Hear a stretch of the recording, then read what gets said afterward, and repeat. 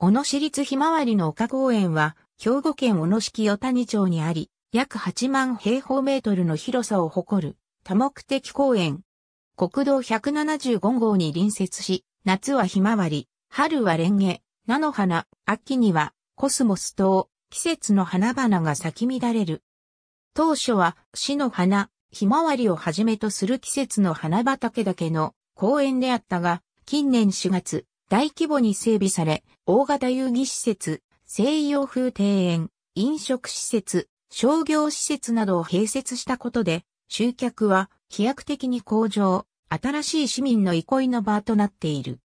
ひまわりの品種は、サンリッチレモンや太陽などが中心で、見頃は毎年6月末日7月上旬頃と早く、成果にはすでに摘み取られてしまう。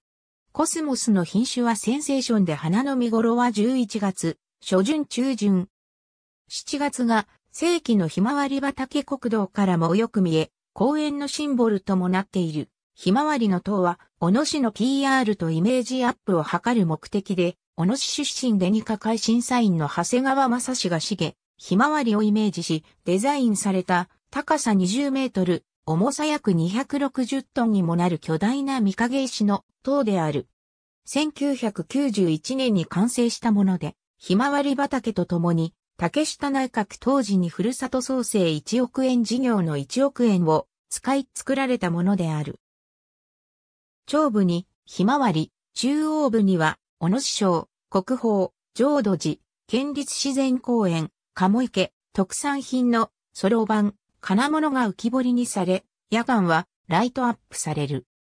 ハーブ畑と滑り台春の菜の花畑中国自動車道、滝野社インターチェンジより、国道175号を南へ、約 8km、山陽自動車道、三毛のインターチェンジより、国道175号を北へ約 7km。ありがとうございます。